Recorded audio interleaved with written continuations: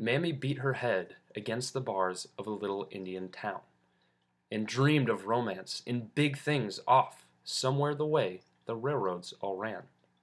She could see the smoke of the engines get lost down where the streaks of steel flashed in the sun. And when the newspapers came in the morning mail, she knew there was a big Chicago far off where all the trains ran. She got tired of the barber shop boys, the post office chatter, and the church gossip and the old pieces the band played on the 4th of July and Decoration Day, and sobbed at her fate, and beat her head against the bars, and she was going to kill herself. When the thought came to her that if she was going to die, she might as well die struggling for a clutch of romance among the streets of Chicago. She has a job now at $6 a week in the basement of the Boston store.